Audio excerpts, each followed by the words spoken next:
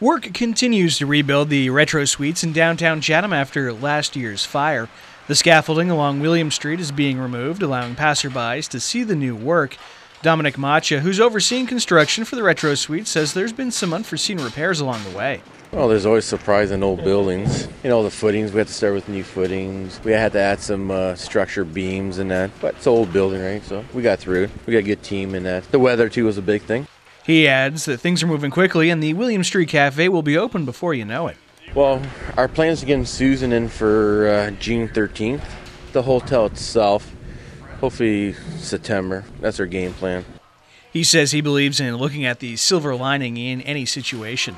We're always going to expand. Like we're going to have more suites eventually. But this way, you gave it opportunity to put the sprinkler system, which we're going to do. But now we're going to make it fresh, all brand new. Just gives the opportunity to make the building better now.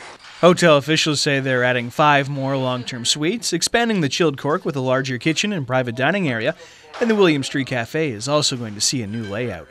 Trevor Thompson, Blackburn News.